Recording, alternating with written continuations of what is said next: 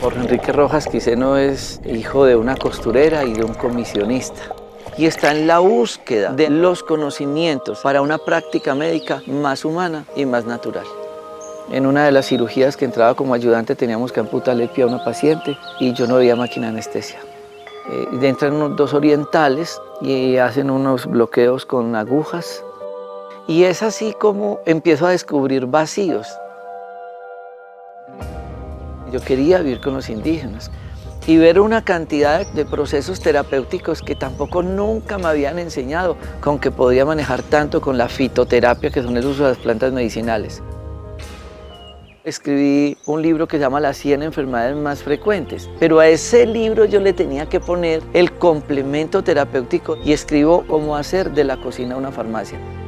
Si la comida mala nos enferma, la comida buena nos alivia uno dice, sí se puede ejercer una medicina diferente. ¿Desde dónde? Desde esto, desde la huerta, que en conjunto permiten buscar la salud. El ego es creer que una sola persona es capaz de curar a un paciente de algo. Nosotros en los parques de la salud tratamos de hacer una consulta integrativa, donde un médico puede hacer la historia clínica, pero es evaluada por 10. Empiezo a estudiar la nutrición y a descubrir cómo podría enfrentarme a tantas enfermedades sin un peso en el bolsillo, pero en una finca o en un supermercado. En la medicina uno debería actuar en grupo. En la comida sucede lo mismo. Cuando yo realizo un batido, estoy haciendo una sinergia de unas propiedades terapéuticas nutricionales que en conjunto permiten buscar la salud.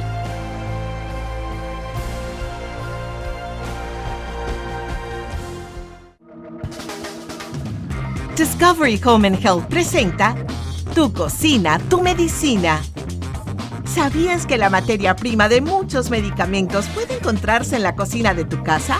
Así es, ingredientes naturales como la sábila, el brócoli, guatila, la caléndula y miel, entre otros, al ser combinados de manera óptima, se convierten en remedio para varias dolencias comunes, efectivos como la píldora o el jarabe, pero traídos desde el huerto. No es por nada que 400 años antes de Cristo, Hipócrates, considerado el padre de la medicina moderna, dijera, sea el alimento tu medicina y la medicina tu alimento. Acompáñanos en este maravilloso viaje alrededor de la medicina hecha en casa, descubriendo ingredientes, remedios, recetas y secretos para llevar una vida más saludable y natural. Presentado por Dr. Rojas y el Parque de la Salud. Muchas gracias por estar nuevamente con nosotros en una nueva edición de Conexión Vital, un programa de prevención y educación en salud. Recuerden que con este programa queremos es acompañarlos a ustedes en los diferentes temas que de una u otra manera les pueden encaminar, les pueden mejorar sus mejores hábitos de vida y de salud. Eso es Conexión Vital y esa es la finalidad nuestra con todo el equipo de médicos del Parque de la Salud. Se va a llevar a cabo en Manizales en en el sector de Villa María, donde tenemos unos termales maravillosos, una gran actividad académica. Es un congreso de termalismo, es un congreso donde queremos reunir a muchas personas. Les voy a dar muy bien esa información porque es posible que les aparezca que no hay cupos, pero me decía el organizador que muchas veces son muchos los llamados y pocos los, muchos los llamados y pocos los asistentes. Se llama el primer Congreso Iberoamericano y cuarto Nacional de Turismo de Bienestar y Termalismo. Y es un congreso que como todos pues tiene mucho costo, pero el gobierno central, la gobernación, la alcaldía de Villa María se han unido para ofrecer este proceso académico sin ningún costo. Se va a llevar a cabo en Termales del Otoño y ahí ven ustedes imágenes. Ahí está, tenemos sonido, ¿no? Ahí estamos en todo el proceso de invitación de este gran congreso, donde tenemos invitados conferencistas internacionales con diferentes temas que tienen que ver con termalismo, con arcillas, con hidrología médica, bueno, spa, que es tan importante. Son temas maravillosos que realmente para nuestra región es un orgullo poderle ofrecer al resto de Colombia esta gran posibilidad académica. Esto se hallará a cabo lunes, martes eh, perdón, miércoles, jueves y viernes, donde vamos a hacer este proceso académico en la ciudad de Manizales, del 27 al 29 de noviembre. Y hoy vamos a contar con dos invitados sobre este tema que es bien interesante, y es la doctora Lourdes Mourele, ella es experta en spa, en wellness, en termalismo y talasoterapia, que es el manejo de arcillas. Y el doctor José Luis Legido Soto, en investigación y desarrollo de peloides y termalismo. Como el tema es tan grande, vamos a entrar en materia. Doctora Lourdes, muchas gracias. Doctor José Luis, bienvenidos.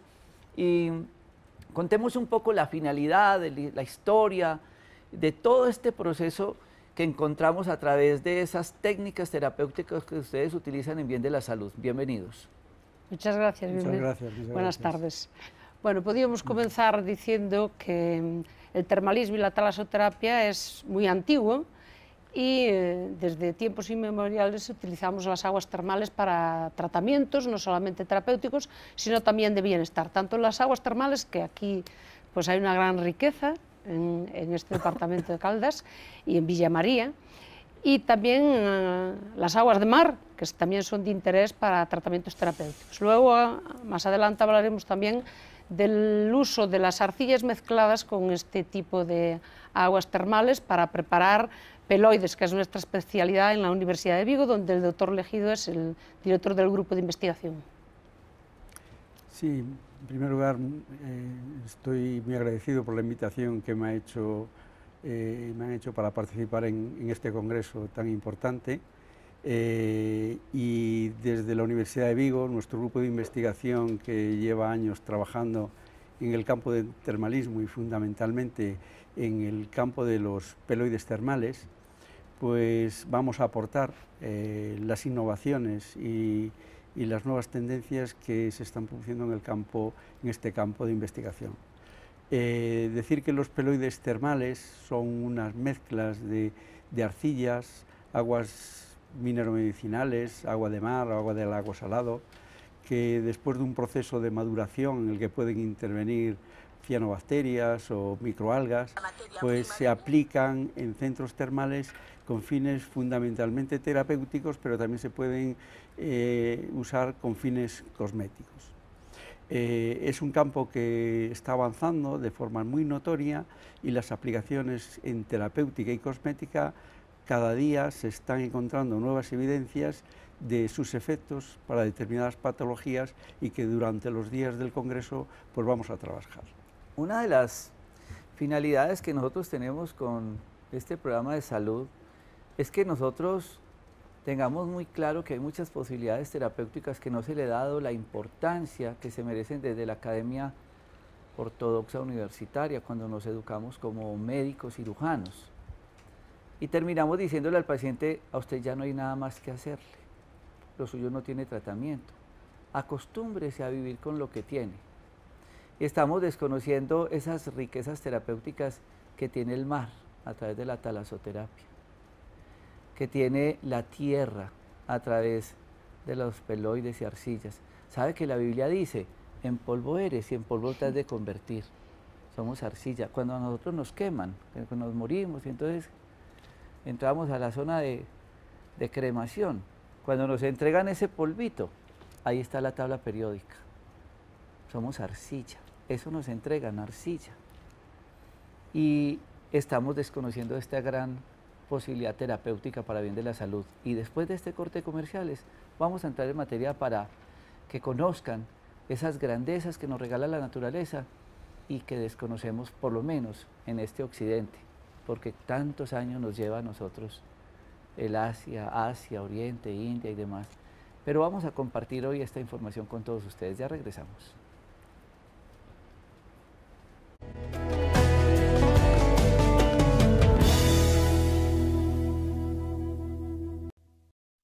Villa María se convertirá en el epicentro de un evento sin precedentes en la región, abriendo sus puertas al primer Congreso Iberoamericano y Cuarto Nacional de Turismo de Bienestar y Termalismo. España es nuestro país invitado y como destino nacional invitado, Santa Rosa de Cabal Tendremos 15 ponencias magistrales con 11 invitados internacionales. Francisco Maraver, Jimmy Pons, José Luis Legido, Alfredo Pérez, María Lourdes Mourel, Teresa Pacheco de España, Laszlo Pusco de Hungría, Judith Ertz y Edgar Merot de Austria y Tony Yarto de México. Además, contaremos con cuatro expertos colombianos, Carlos Duque, Eder Peña, Jaime Ángel y Alejandra Millán, quienes nos ilustrarán en temas de bienestar, turismo, termalismo y spa, que te conecta con la ruta termal de Colombia. Los esperamos del 27 al 29 de noviembre. Villa María, tierra de bienestar y naturaleza. Bueno, ahí estaba la introducción de este congreso, pero hay mucho tema.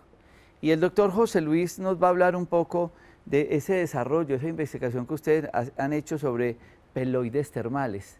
¿Qué es ese término? ¿Qué es y qué utilidad tiene para nuestra salud?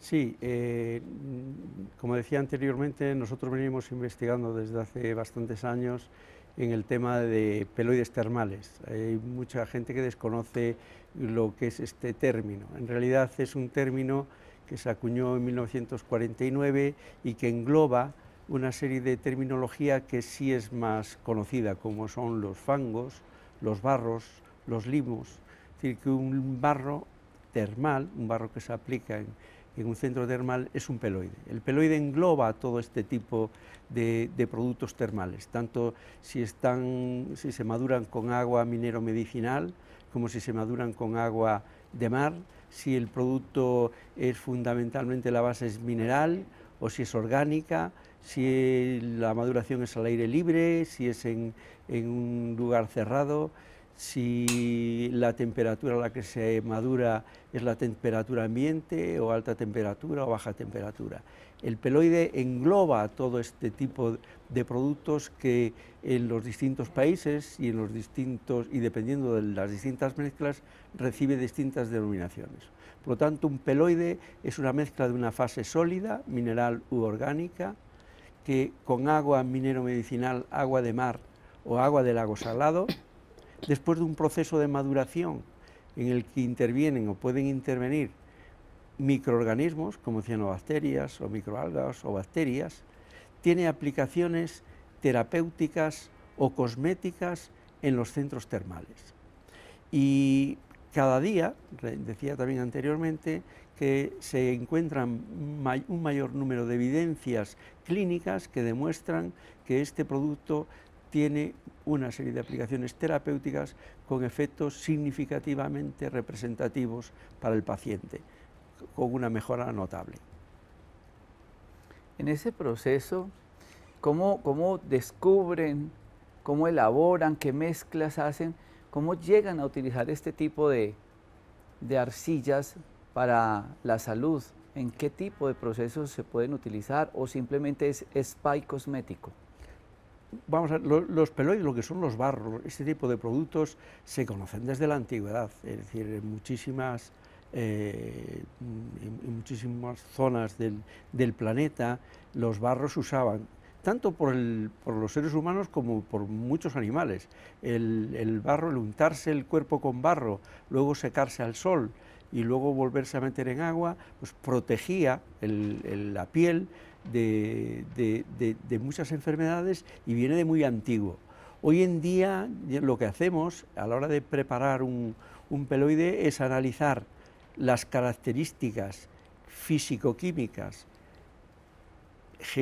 mineralógicas y biológicas de las distintas fases que componen el peloide, la fase sólida o mineral u orgánica y la fase acuosa procedente del agua minero medicinal.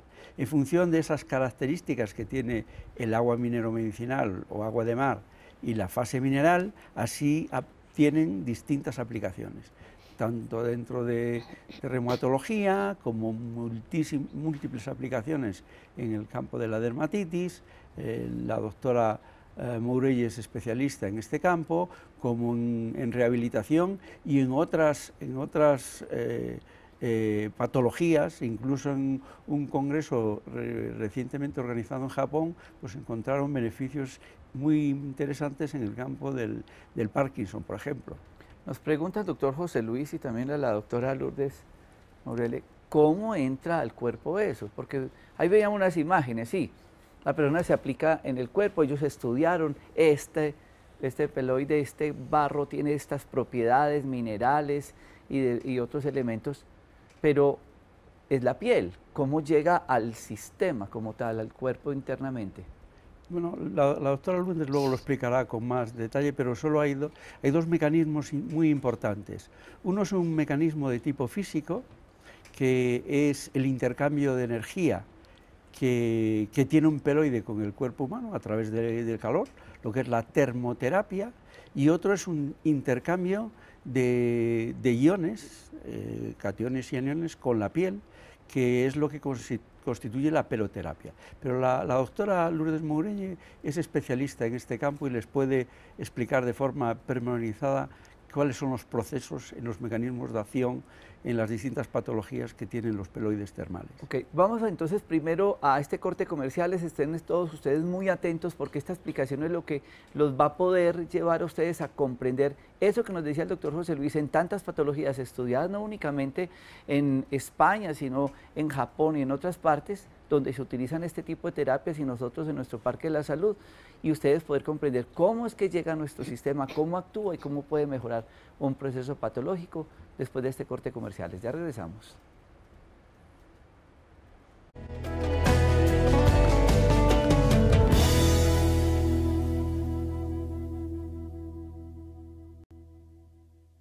Soy hermana y vecina de Manizales, la ciudad de las puertas abiertas.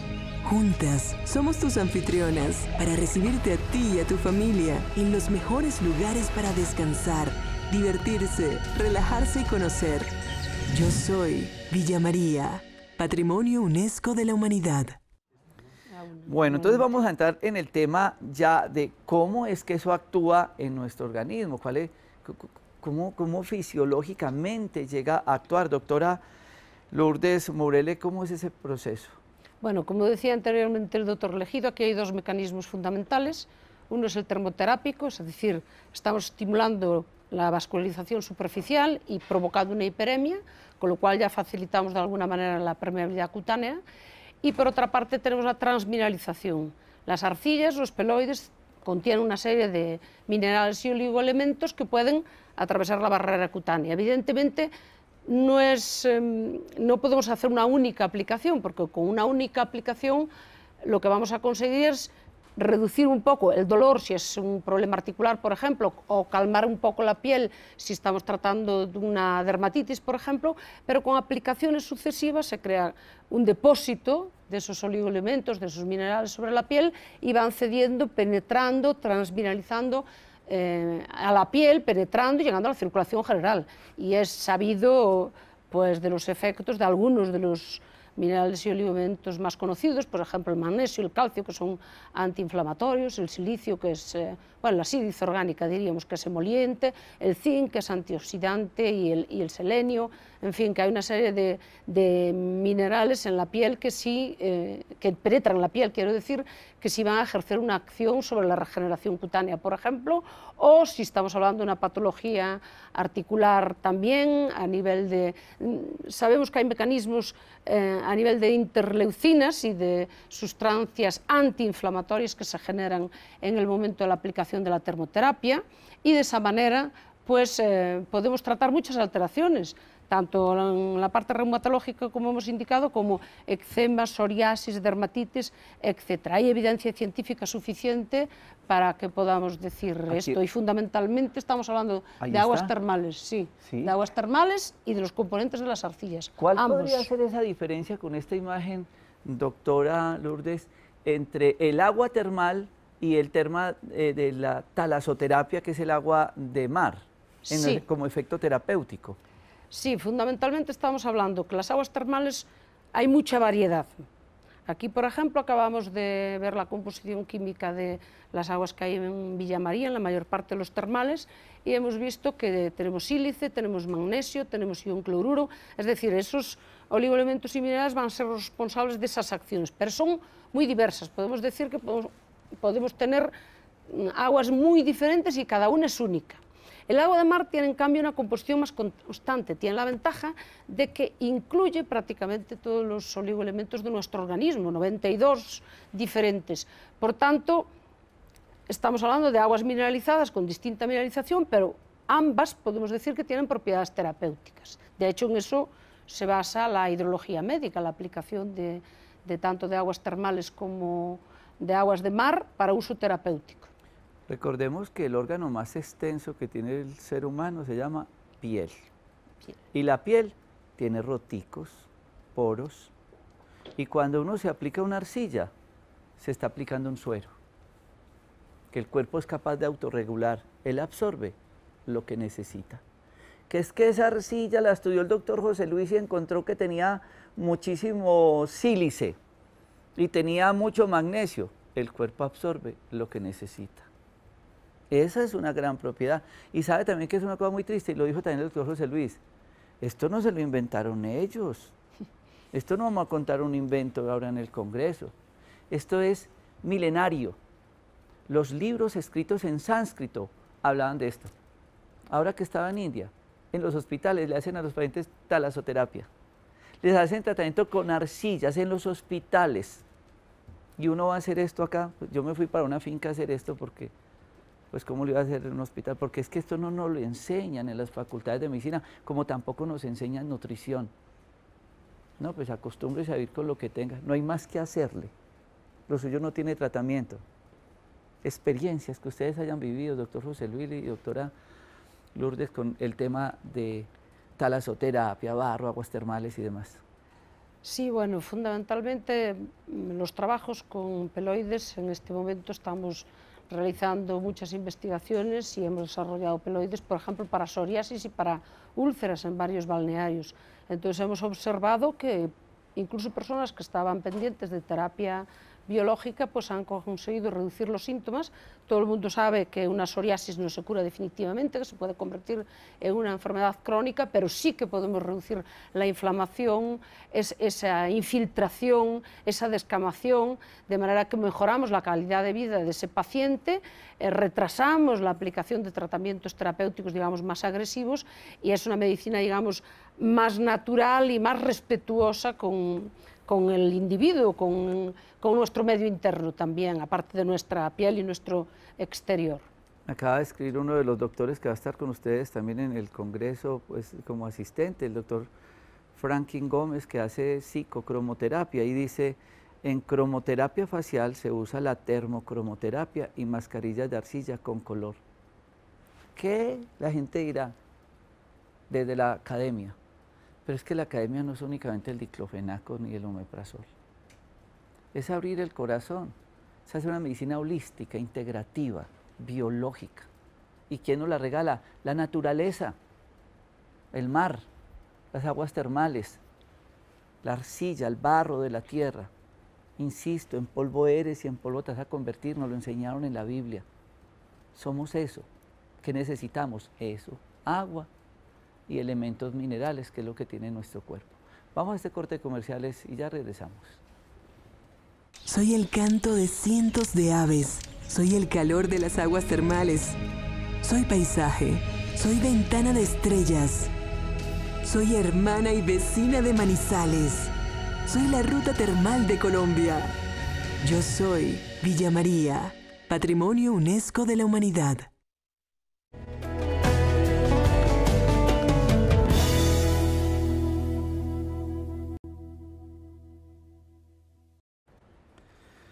Dentro de todo este aspecto amplio que nos ofrece la, naturaleza, que nos ofrece la Pachamama, que nos ofrece como recursos terapéuticos, se, da esta información para que ustedes utilicen estos recursos.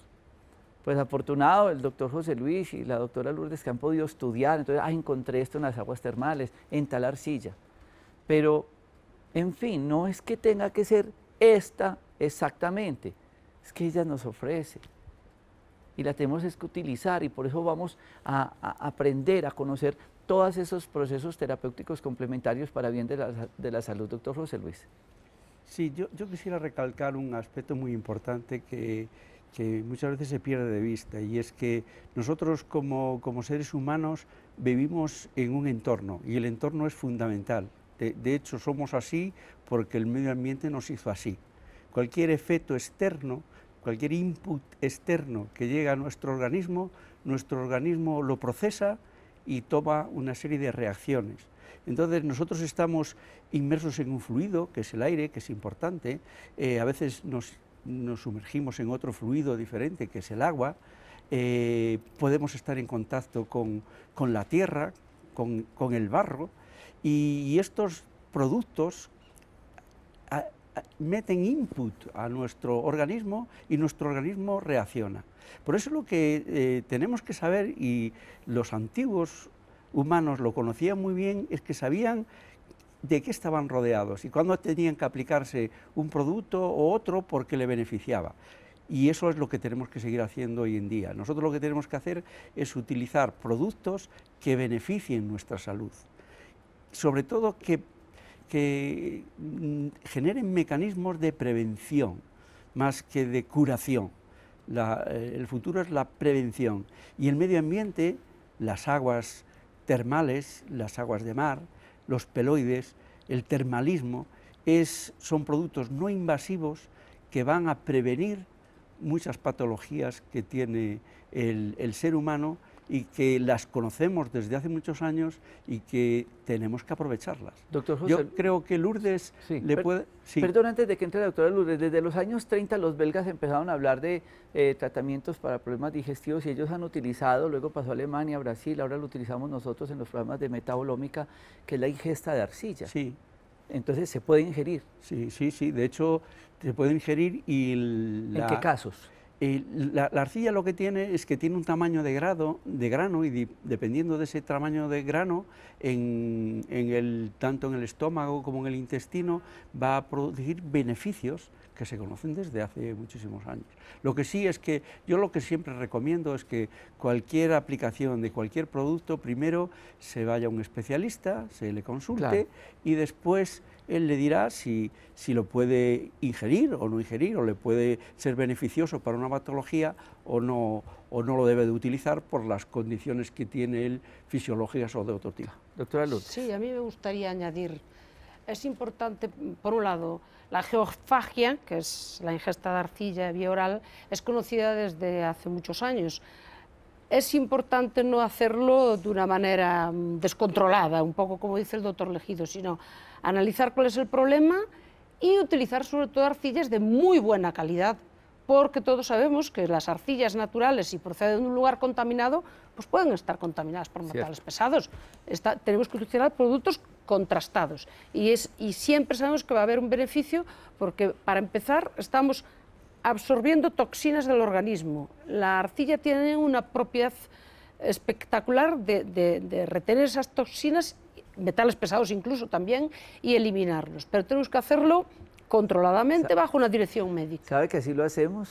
Claro. Qué bueno que pudieran conocer nuestro programa de limpieza de colon, donde a los pacientes les damos estas arcillas con unos resultados maravillosos y en colitis y en diarrea crónica y demás. Bueno, y la parte cosmética, doctora. Sí, a ver, ese es un tema que vamos a tratar también en el Congreso y es con un poco mi pasión también, junto con los peloides. Aquí en la, imagen pueden ver ustedes una clasificación de los cosméticos termales tal como la vamos a explicar durante el Congreso y básicamente estamos hablando de productos que se elaboran a partir de las aguas mineromedicinales, aunque también podría ser a partir del agua de mar, que ya hemos indicado que son ricas en minerales y oligoelementos ambas, y fundamentalmente vamos a tener tres principales tipos de productos, que son las aguas termales que aplicamos a veces eh, tópicamente con un, spray, por ejemplo, y ahí va a depender de esa composición, los peloides, de los que hemos estado hablando largamente, pero desde mi punto de vista eh, como cosméticos tienen mucho interés en las alteraciones dermatológicas y mm, también cosméticos elaborados a partir de, aguas termales donde podemos conseguir como una cosmeticidad mayor, pues por ejemplo para una emoliencia de la piel, para una hidratación, etc. A partir del agua termal pasamos al producto eh, termal, digamos, comercializado. A mí me interesa mucho y he investigado mucho este aspecto porque creo que eh, las arcillas, perdón, las aguas termales tienen un potencial impresionante. eh, no, no lo hemos sabido aprovechar.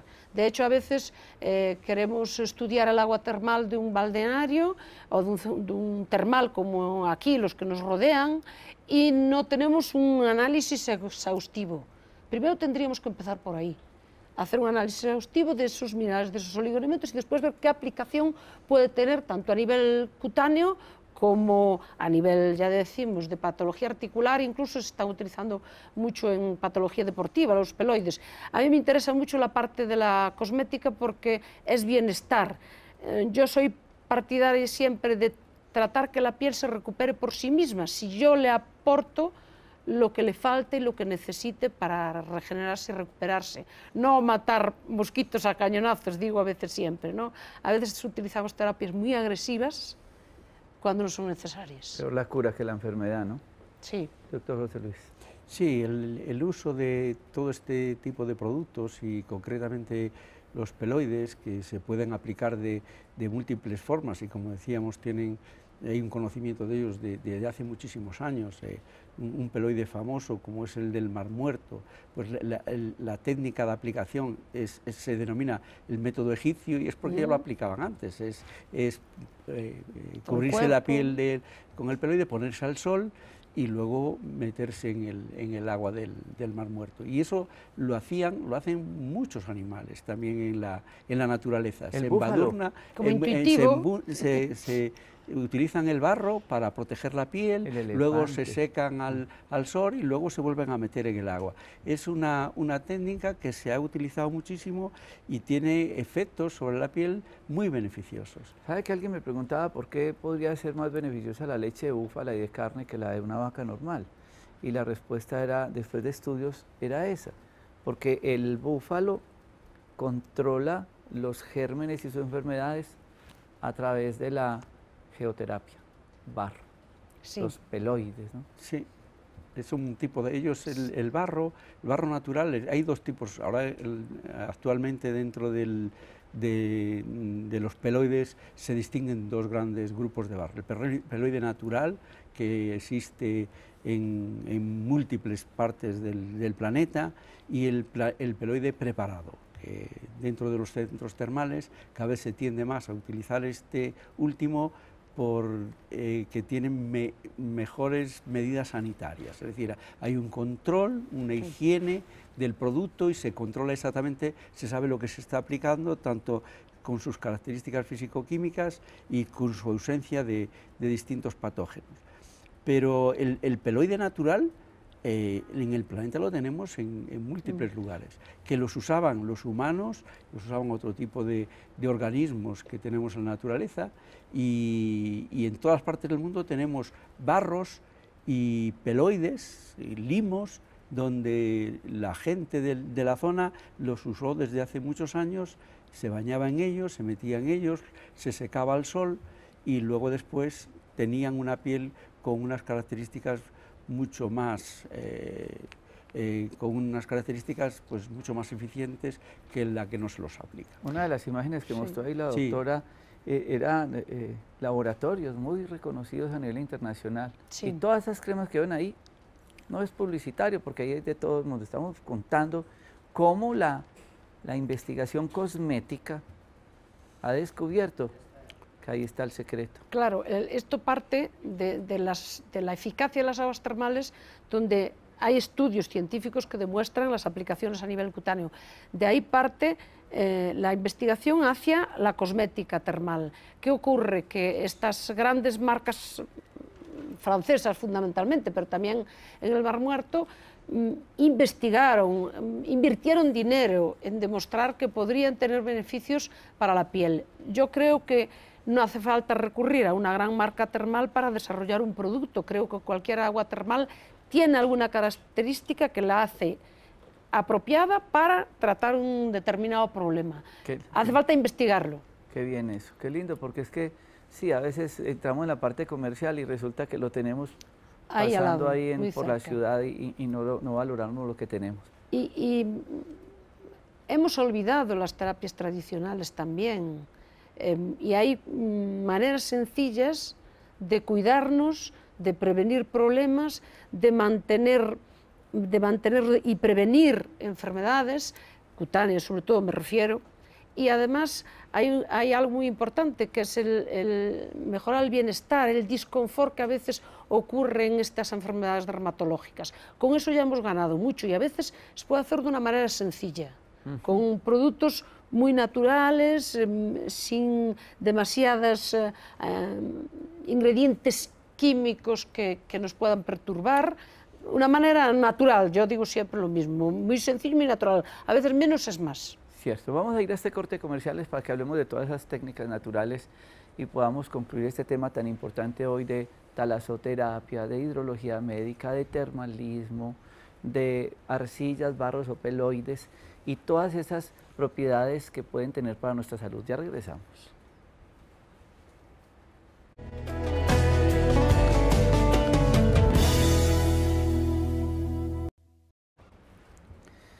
Bueno, vamos a entrar como en ese tema de conclusiones. La experiencia, lo que ustedes le contarían resumiendo a los televidentes de este tema tan lindo y las experiencias que han tenido para la aplicación de la salud. Sí, yo insisto que, que tenemos que aprovechar los recursos del planeta. En el planeta hay múltiples recursos que los tenemos infrautilizados y tanto el tema de las aguas mineromedicinales, el agua del mar, las arcillas, eh, son productos naturales que nosotros debemos de aprovechar. Aquí en la zona de, de Villa María eh, se tienen unos recursos espléndidos que el mundo tiene que conocer y que tiene que venir a probar. Eh, el agua termal es abundante y se puede mezclar con otros componentes para, para tener componentes de valor añadido y que se puedan aplicar en distintas patologías yo les invito a que, a que prueben los productos termales que hay en Villamaría, naturales, que salen de la propia tierra, que, que se pueden utilizar el agua, el aire, el vapor y, y ahora en, en, breve seguramente van a poder utilizar también las arcillas para el beneficio de la salud y la prevención. Lourdes. Sí, a mí me gustaría añadir que mm, estudien las aguas termales con otros fines que no sean únicamente los de bienestar y lúdicos, que están muy bien, sino que los busquemos también en los fines terapéuticos, porque esa riqueza que tenemos de minerales van a ser fundamentales para numerosos procesos. La hidrología médica estudia las, el uso de las aguas termales para todo tipo de patologías. No estamos, aquí hemos hablado mucho de reumatología y dermatología, porque quizás es, son las dos grandes orientaciones terapéuticas, pero estamos hablando también de problemas respiratorios muchas veces.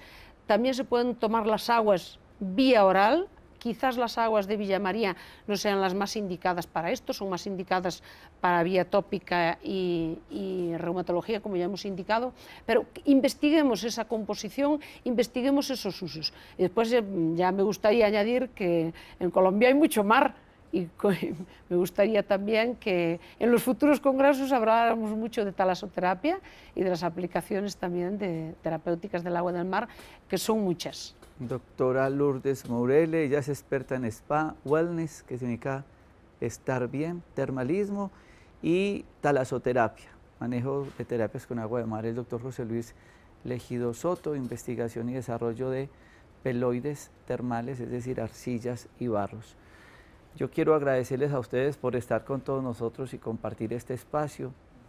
Como dice la doctora Lourdes, esto es de estudiar, de investigar. Es muy difícil en una hora de televisión poderles contar un resumen de investigación de muchos años que ellos han hecho, pero ha sido realmente un proceso maravilloso para que eh, nosotros aprendamos y asistamos a este congreso. Este congreso no, tiene costo, es entrada, va a ser entrada libre, lo, lo subsidia el gobierno de Colombia y la gobernación de Caldas y Villa María. Estas son las prácticas que nosotros venimos llevando a cabo en nuestro Parque de la Salud hace muchos años y, y, ha sido realmente una experiencia gratificante en la práctica médica. Muchas gracias por estar con nosotros y los dejamos con este lindo video de Villa María. Muchas gracias. A ustedes. Villa María, vecina de Manizales, ubicada en el departamento de Caldas, es un territorio de imponentes paisajes con más de 500 especies de aves y cálidas aguas termales que hacen parte de la ruta termal de Colombia. Villa María se convertirá en el epicentro de un evento sin precedentes en la región, abriendo sus puertas al primer Congreso Iberoamericano y Cuarto Nacional de Turismo de Bienestar y Termalismo. España es nuestro país invitado que viene a compartirnos sus conocimientos milenarios para consolidar el turismo de bienestar y termalismo en nuestro país. Y como destino nacional invitado, Santa Rosa de Cabal se une a este espacio para compartir sus experiencias en el desarrollo turístico regional. Tendremos 15 ponencias magistrales con 11 invitados internacionales.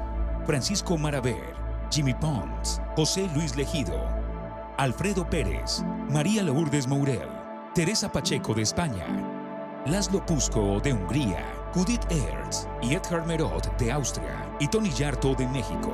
Además, contaremos con cuatro expertos colombianos, Carlos Duque, Eder Peña, Jaime Ángel y Alejandra Millán quienes nos ilustrarán en temas de bienestar, turismo, termalismo y spa.